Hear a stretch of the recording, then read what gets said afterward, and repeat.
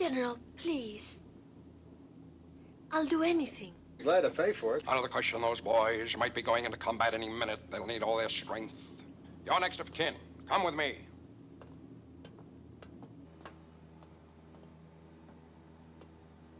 Don't you think I should be back there with At ease. How can I help?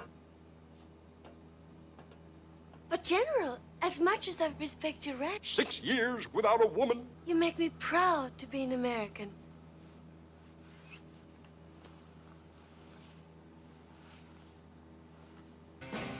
But, General, you said you just wanted to look.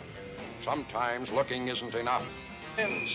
I'll teach them the manual of arms, know what freedom's all about. War certainly seems to be hell.